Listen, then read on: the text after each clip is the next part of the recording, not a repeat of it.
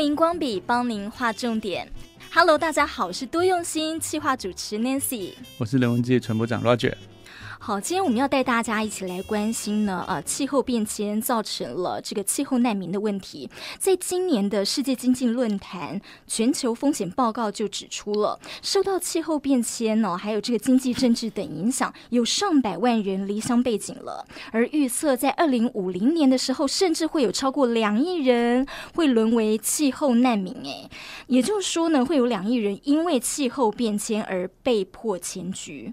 其实 Nancy 啊，其实不用讲到二零五零年啊，最近的这些新闻就可以看得到，其实已经造成非常多的这个灾难啊。哦，不管是旱灾的部分，或者是水灾的部分啊，尤其最近这个巴基斯坦呐，啊，整个国家的这个国土啊，有三分之一的这个国土泡在水里头，嗯所以造成非常非常大的灾难。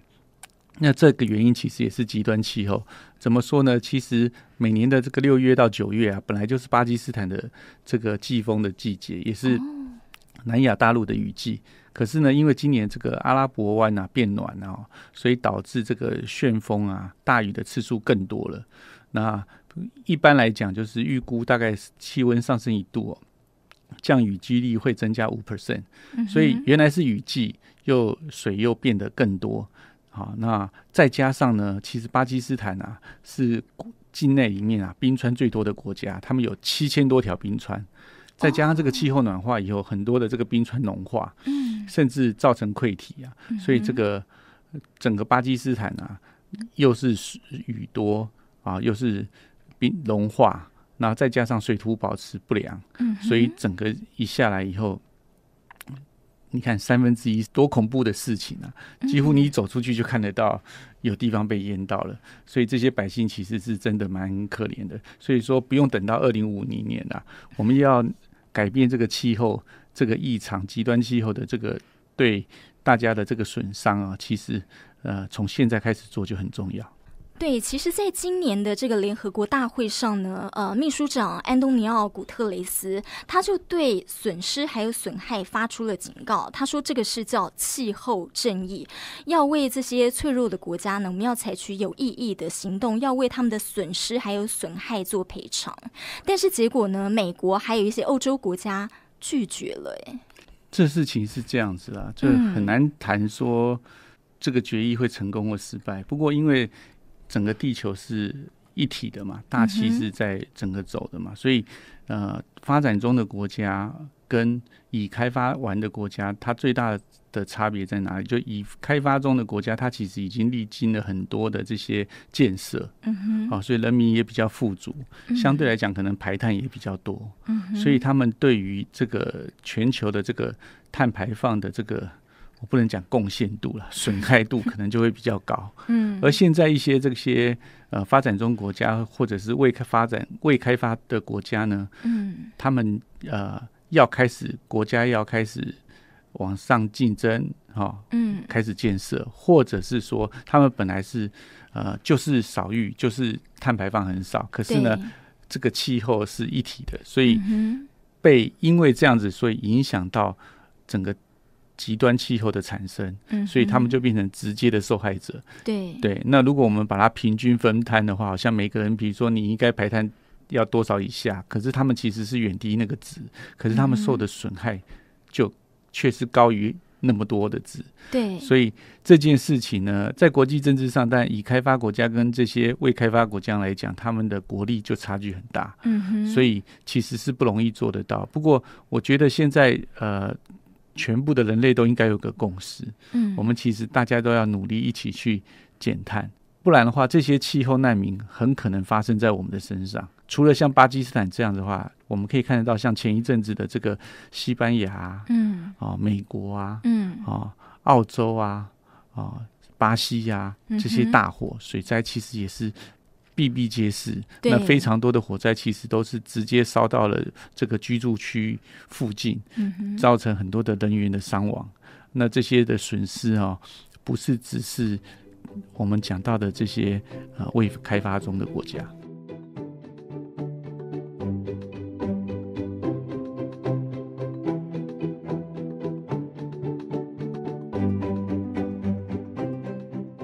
说到澳洲啊，在中央社二十五号的这个外电报道就提到了说，呃，澳洲有八名的这个国民，还有他们六个小孩哦，今年投诉说呢，呃，这个二零一九年的时候，天气变化的模式已经直接伤害到他们的生计、文化，还有他们传统的生活方式了。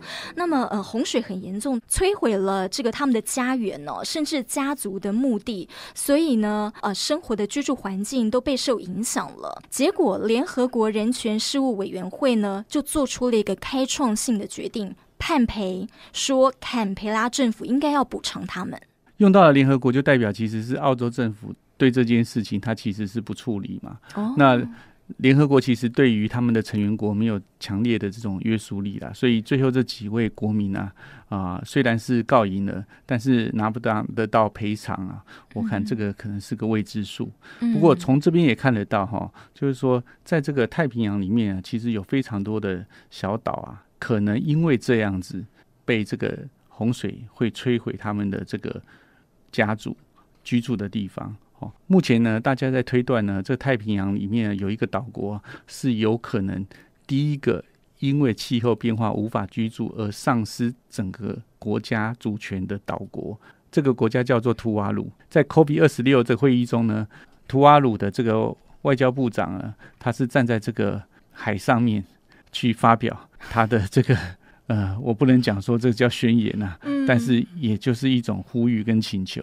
你知道为什么吗？嗯，因为他们的这个岛的这个平均海拔其实只有海平面的两公尺，对，不到一楼一层楼，哎，对，不到一层楼，而且其实这个潮水会涨会退嘛，嗯，对，所以涨潮的时候就会更高。哦，对，再加上现在平均每年啊，大概上升的这个水位数啊，海平面大概是零点五厘米啊。嗯，所以其实很快就有可能会整个岛就不见了。也就是说，有一些太平洋岛国比较低洼的地方，真的有可能在未来可能会整个要放弃它的居住地。嗯哼，不只是刚刚那样子，澳洲的一个小岛，是整个国家。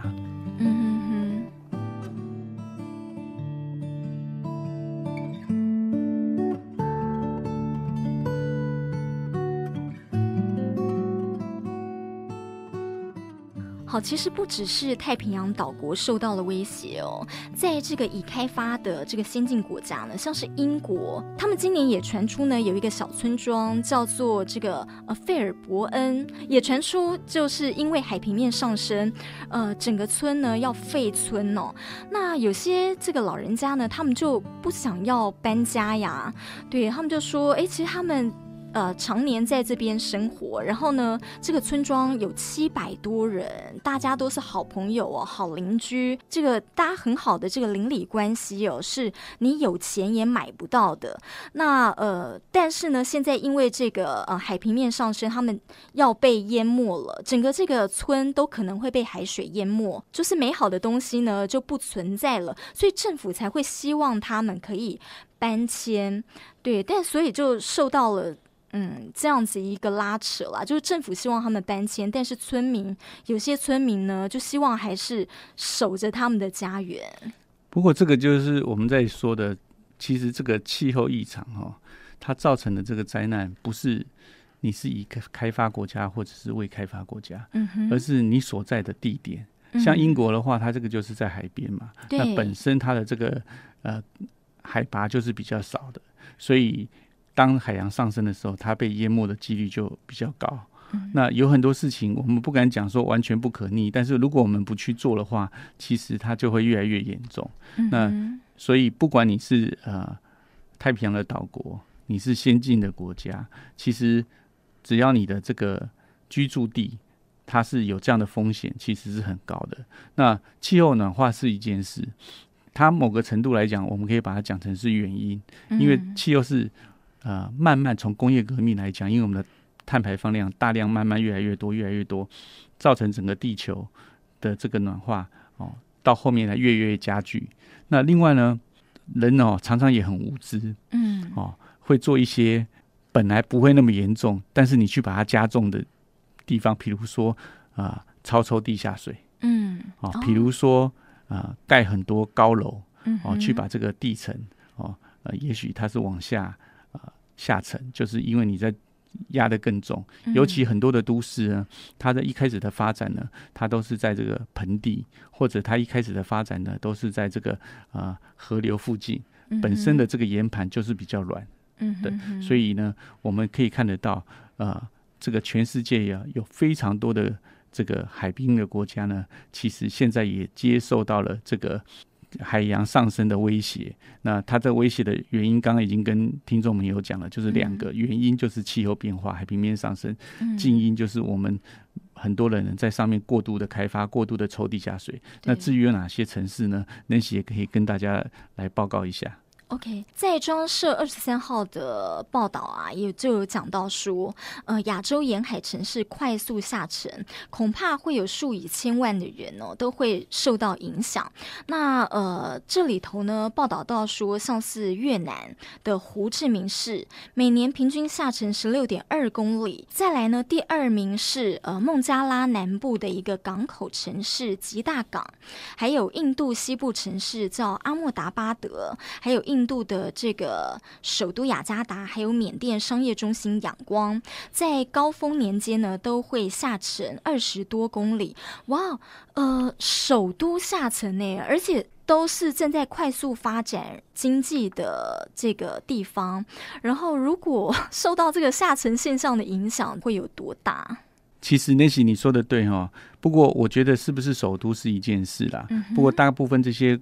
城市呢都是靠河岸，然后本身海平面就低，再加上超过大地负载的这些建设，所以像呃这个《纽约时报》啊的科学版啊，曾经就有提过了。你看，他在预计在二零五零年的话，越南整个南部都可能消失，还不是那个城市。嗯，对。那他们有做一些科学的模拟啊，那。这些的资料通常都是发表在这个自然通讯的期刊上，算是一个蛮权威的组织啊。嗯，所以呃，包括你刚刚讲的雅加达，那雅加达现在印尼政府听说他们也有整个这个城市的搬迁计划。哦，对，那甚至不要讲说这些亚洲国家了，我们看那个美。州也是一样，纽约也是被预测为高风险的国家，所以整个纽约州，我们来看它的这个海平面的图了。它在现在跟二零五零年里面啊，你就会发现啊，有一大部分的地方可能都已经会泡在水里头去了。那同样的道理，像上海，哦，等等都是。那所以呢，很多的事情呢，真的。已经不是口号了，因为我们已经看到了，像最近的这个巴基斯坦的例子，像刚刚讲的这个图瓦鲁的这个岛国的例子，其实已经告诉你它正在发生中。嗯，那我们现在只只能刚开始延缓它的发生，对，然后再来就是慢慢逆转它。啊，虽然这个很难，但是如果大家都不做，其实会非常的严重。嗯，还有你刚刚讲到，就是说，呃，这些大城市政府已经开始在计划说要怎么样做一个阴应的策略了，对不对？可是这个阴应策略通常只是个治标不治本。那因为为什么 海平面上升呢？它是一件事情，淹没了你的居住地。可是这个气候的剧烈的变化，嗯，它是另外一件事情。嗯哼，那。这个我们就以我们台湾这个地方来讲哈，大家有没有觉得这几年台风很怪？就是你会发现它路径跑了。那虽然这样子，这几年直接侵袭台湾的这个台风变得少很多，对。可是它相对来讲，就代表这个气候已经开始在做一些变化调整。对。那另外还有一个就是说，常常今天看到一个热带气低气压，明天突然它就变强变大了。对。那这个就是呃太平洋的这个。水温就上升嘛，上升以后，这个水汽这个上升会造成这个低压的这个强度会变强。那个海平面的低压带要变热带气旋啊，要变成台风，其实时间要很长。现在常常很快就有，甚至昨天还不是，今天就在你路边那个陆地边直接就产生的这种的例子也也很多。所以它相对来带来的这个风力的破坏。雨水的破坏也越来越大，所以这几年台风啊，啊，不管日本啊、韩国啊、中国大陆啊、菲律宾啊，其实都遭受了非常大的这样子的天灾的处理。嗯哼，哦，像最近这个诺如台风啊，嗯，它这个侵袭这个菲律宾啊，那一般来讲，我们这个台风呢，碰到陆地都会减弱嘛。嗯哼，对，可是这次这个台风很特别，它到了这个吕宋岛菲律宾这边的时候呢。结构还是相当的完整，而且还有加强的趋势。哦，也就是说，这旁边的这些气温啊，助长了它的这个能量。嗯哼，对，所以很可能会造成很大的灾害。那我们当然是期望这个灾害能够降低。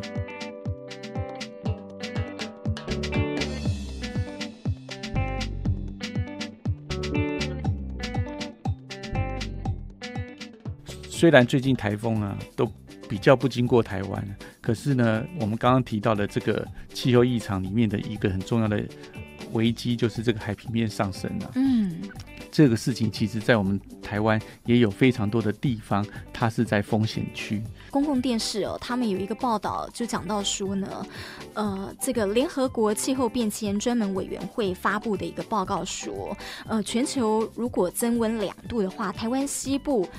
呃，比较低洼的地方呢，恐怕也会淹没。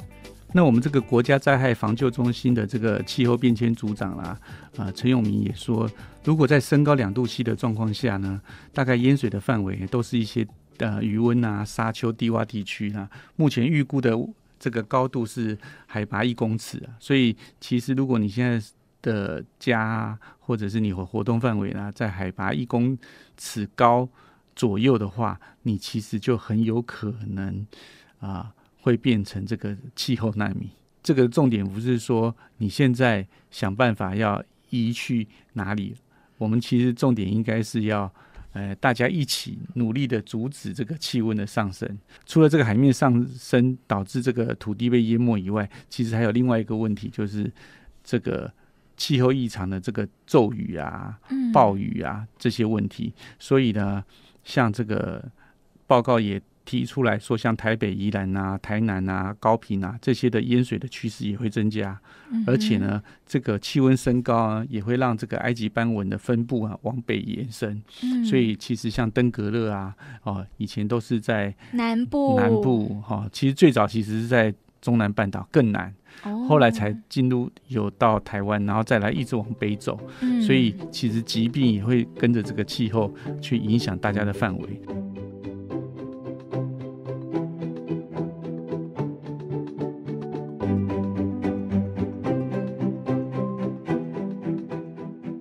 不过讲到这个啊地层下泄，其实有一些知识还是得要跟这些听众朋友分享。南希，你要不要跟大家分享一下？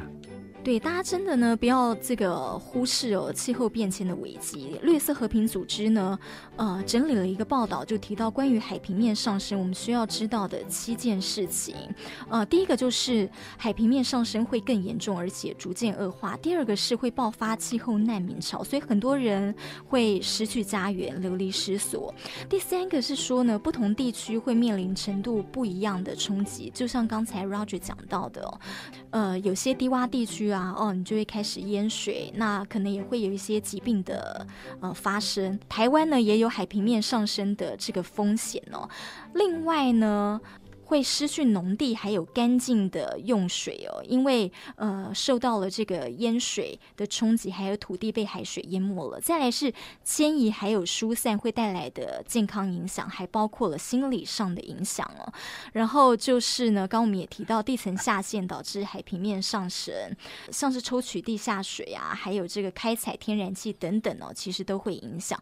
所以我们到底来不来得及阻止气候浩劫啊？来不来得及要看大家一起努不努力了 哈，那怎么样减少最快速的减少其实是素食啦哈，因为据这个研究哈，肉食者一年大概产生哦一千五百公斤的二氧化碳，但是素食者产生的这个二氧化碳但是四百三十公斤，所以其实是不到三分之一。嗯，那看我们现在七十几亿人，如果大家都做到这件事的话，瞬间光食物就可以减少掉三分之二。的这个二氧化碳，那再加上土地开发可能会减少，那污水啊这些，那还有另外一个很重要就是我们每一个人的这个使用哈，因为其实不管我们穿的衣服啊，我们现在在报告用的电脑啊，喝的水杯啊，各样东西其实都是需要制造，每一样制造其实就要能源。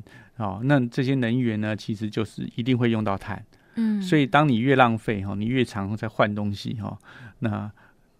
越常丢东西哈，那就代表你的这个碳的这个里程啊，消耗的特别多。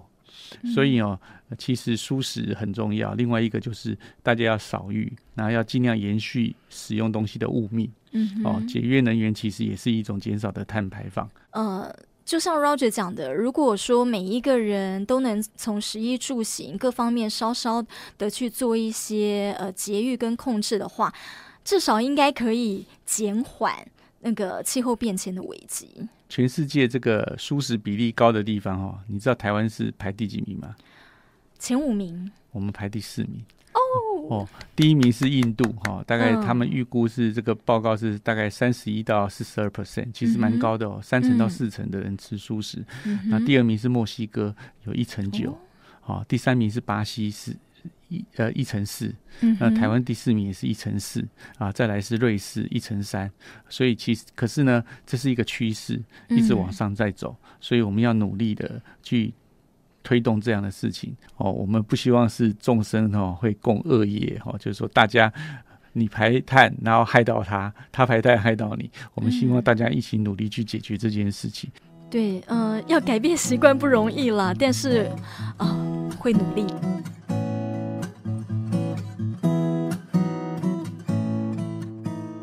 对，新闻荧光笔。提供你观点思考，我们下回见，拜拜。